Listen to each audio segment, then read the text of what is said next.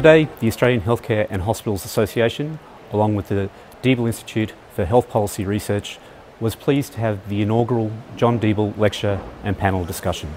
And this was really to celebrate the life and contribution of John Deeble to health policy in Australia, most notably, of course, to do with the introduction of Medicare and Medibank. Today we heard from Professor Nigel Edwards, Chief Executive Officer of the Nuffield Trust in the United Kingdom. And he was able to reflect on various attempts at health policy reform in the United Kingdom, the sorts of problems that they encountered, and the kind of lessons that can be learned to try and avoid those implementation issues in the future. Nigel Edwards is CEO of the Nuffield Trust. Nigel was Policy Director for the NHS Confederation for 11 years and clearly has um, an enormous amount of experience in health and social care. Uh, he has a strong interest in models of care, but as I'm sure his talk will demonstrate, he has a really keen interest on understanding how policy is enacted on the front line. He provides advice to many uh, countries about their health systems, uh, particularly developing countries from Iraq to the Ukraine. So my topic is policy blunders and maybe how to prevent them. Um, even worse is the tendency and temptation to design a policy for the worst bit of the system, um, uh, which means everyone else is held back because of the way the policy is designed.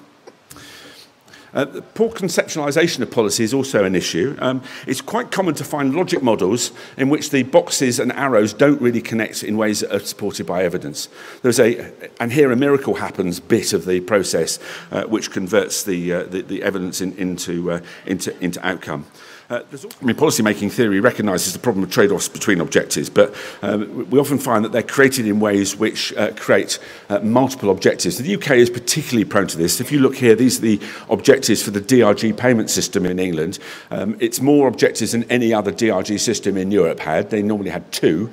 Uh, we had all of these. You'll notice that it contains two contradictory object, ob, uh, objectives. One is to increase admissions, elective admissions, and the other is to decrease emergency admissions using the same instrument.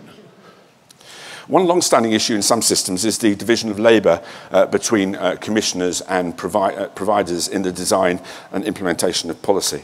Uh, in England, unlike other countries with a purchase provider split, we've asked commissioners to do uh, a very large amount of the heavy lifting in terms of the detailed design of local implementation and to get overly involved in uh, day-to-day issues. In fact, we've had to invest in some extremely good communication staff to help them make that bridge because we all know, and there's good evidence on this, that most policymakers will not read anything.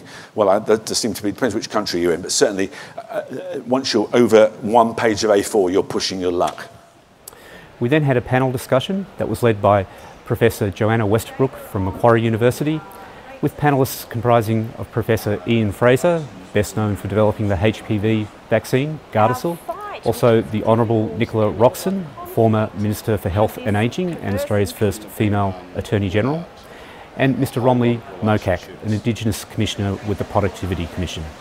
They discussed a range of issues reflecting on the history of Medibank and Medicare, but also the kinds of issues that are faced by the health system today and the near future.